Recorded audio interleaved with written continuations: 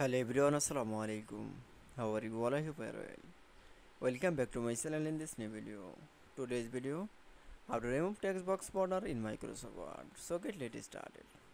At first, open your Word text document file. Firstly, remove text box border is click for the text box and going to the format menu option. Then you can see is going to the remove text border is going to the shape outline option and click for the no outline option. It's okay.